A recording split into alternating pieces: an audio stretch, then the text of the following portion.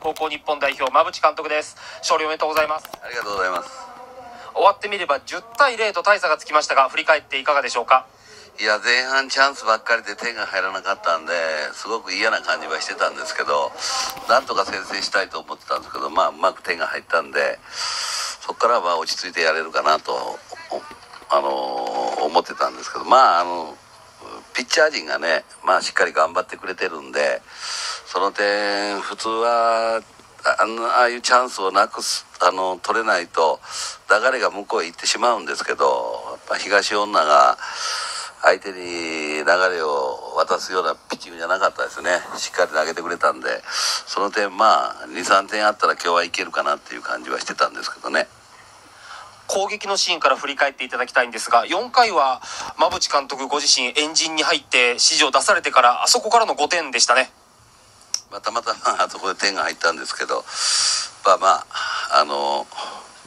いいあそこはいい流れで点が取れましたね。1点で終わらなかったのがまた良かったですね。そうですね。あの1点取ればねずるずるっといくという感じはしてた選手たちにもそうは言ってたんですけどまああの橋本のドラッグバンドでああいうふうにチャンス作れたのは大きかったですよね今日は小技もありましたしあとは長打も何本かありました非常に攻撃陣もバランスがいいかなと思うんですがその辺りいかがでしょう？いやもう打撃は水本でねいいピッチャーが